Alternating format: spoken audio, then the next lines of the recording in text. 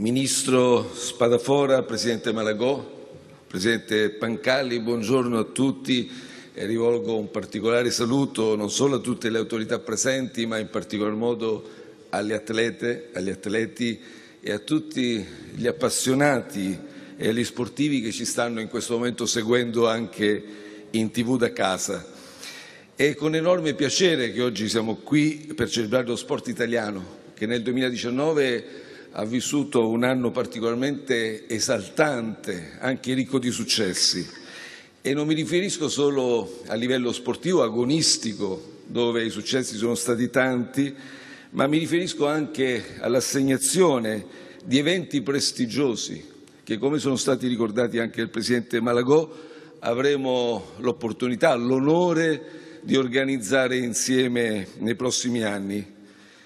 Il Presidente Malagò ha già ricordato un momento particolarmente emozionante.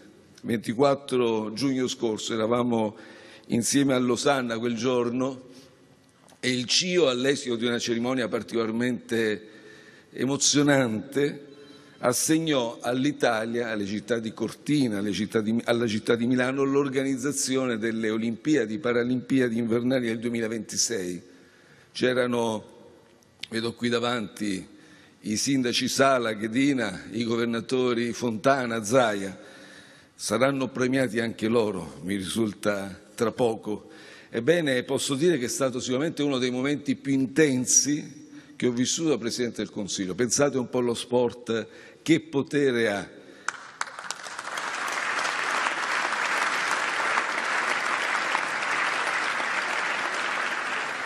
Ed è stato uno dei momenti in cui mi sono sentito anche particolarmente orgoglioso di rappresentare il nostro straordinario Paese. Credo sia questo un motivo di orgoglio, di soddisfazione per tutti gli italiani. È chiaro che questi risultati non si conseguono per caso, non cascano così dal cielo. Ci sono mesi, anni di duro e intenso lavoro, di grande passione dietro, che riguardano e coinvolgono tutto il movimento sportivo, il CONI, le istituzioni, il governo nazionale, i governi locali, la classe politica, tutto il movimento sportivo. Ecco, è un risultato che ci coinvolge tutti, ci premia tutti e questa è sicuramente stata una delle, almeno tra le recenti, tra le più belle pagine che ha scritto il sistema Italia, come spesso io chiamo, la squadra Italia, nel senso che il gioco di squadra, l'unità di intenti, la chiarezza anche degli obiettivi condivisi, il fatto di riuscire a lavorare tutti nella medesima direzione ci ha consentito di ottenere un grande risultato. E lo sport è fattore di inclusione, è fattore di coesione. Lo sperimentiamo sempre anche in occasione di particolari eventi sportivi, perché quando io vedo sventolare le bandiere del tricolore, ahimè, lo dico perché mi piacerebbe vederle sventolare molto più spesso, ma è sicuro che nelle manifestazioni sportive più importanti noi vediamo questo simbolo della nostra patria, della nostra nazione e lo sport quindi esprime questa forza magica di unirci tutti, dai nonni ai nipoti, da nord a sud. E quando ragiono di poi i fattori di inclusione, in particolar modo il Presidente Bancalli giustamente le ricordava poi con le persone con disabilità diventa veramente un grande fattore di inclusione sociale. Quest'anno l'Italia non si è contraddistinta, dicevo, solo per l'assegnazione delle Olimpiadi invernali. Sul piano dell'organizzazione degli eventi il nostro Paese ha particolarmente brillato e questo, eh, ricordiamo, è stato l'anno delle Universiadi di Napoli, dove alla cerimonia finale ho partecipato anch'io, degli, degli europei di calcio under 21 e abbiamo ottenuto un risultato molto significativo. Le ATP Finals di Torino, abbiamo gli europei di nuoto nel 2022, i giochi del Mediterraneo a Taranto, città molto sofferente, eventi che il Governo ha sostenuto continuerà a sostenere nella consapevolezza che rappresentano le occasioni di crescita, di sviluppo, di potenziamento infrastrutturale, di lavoro, di coesione, anche di visibilità perché lo sport ci dona visibilità, sono delle cartoline che scriviamo con le pagine, con i vostri successi, delle cartoline che ci rendono e attirano l'attenzione di tutto il mondo.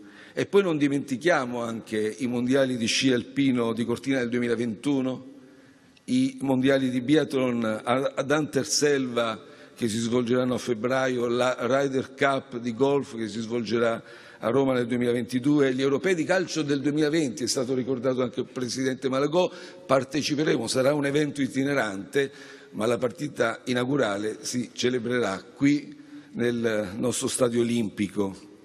L'Italia, e questo veramente ci rende orgogliosi, sta diventando il centro del panorama sportivo mondiale, con merito. Si tratta di un giusto riconoscimento al Paese, il nostro, che vanta una grandissima esperienza, una grandissima capacità organizzativa di altissimo livello. Quindi grazie al CONI al Presidente Malagò in particolare, a tutte le federazioni, a tutti gli atleti e gli atleti del movimento sportivo per questi risultati. Oggi poi in particolare i protagonisti siete voi, atleti e atleti che sarete poi premiati, tantissimi campioni. Voi ci fate emozionare, ci fate sognare, ci date entusiasmo col vostro impegno, con la vostra dedizione. Sono contento anche che il Presidente Malagò ha sottolineato anche quel rilievo etico del vostro impegno, quell'aspetto, quella componente eticamente irreprensibile che caratterizza anche il vostro impegno. Delle volte ci fate anche soffrire quando non riuscite, noi siamo di fianco a voi e non riusciamo a, conseguire i massimi risultati. Eh, dovrei menzionarvi tanti, tantissimi, permettetemi di sintetizzare e una particolare menzione va senz'altro quest'anno ai nuotatori, Federica Pellegrini che vedo qui in prima fila, ma vedo anche Simona Quadarella, vedo anche Gregorio Paltrinieri e poi come non menzionare anche il Settebello che dopo otto anni ha conquistato la vetta, la medaglia più prestigiosa nella pallanuoto e poi i successi della nazionale paralimpica di nuoto che sempre a luglio ha completato in vetta col medagliere a Londra, ai mondiali di Londra. Bebe Vio, la vedo qui in prima fila nella scherma, e tantissimi altri atleti. Portate in alto il nome dell'Italia, noi vi seguiamo con tanto affetto, con, tanto, con tanta compartecipazione, siumpateia la chiamavano i greci, è quel sentimento che è qualcosa di più che come dire, un tifo, è una compartecipazione intima, quindi voi siate sempre sicuri del nostro grande appoggio.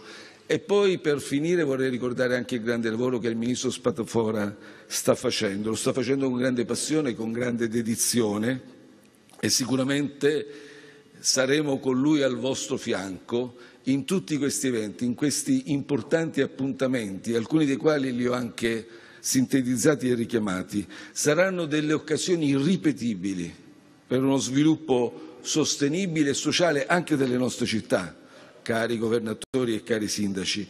Le renderemo attraverso lo sport sempre più accessibili, sempre più inclusive potenzieremo, costruiremo nuovi impianti, strutture sportivi, avremo anche un grande, presteremo grande occhio, ne approfitteremo per migliorare le nostre tante periferie, perché una palestra, una piscina, un campo da tennis sono fattori di aggregazione, di coesione sociale e rappresentano anche il grado di civiltà che un Paese esprime. Ci impegneremo tutti insieme anche per questo.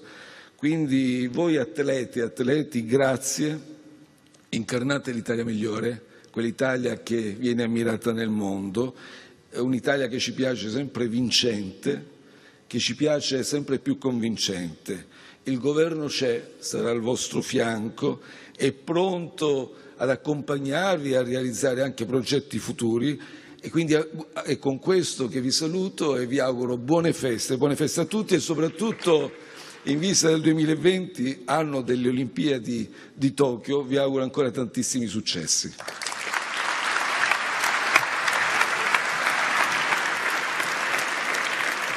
Grazie al Presidente Giuseppe Conte. Allora,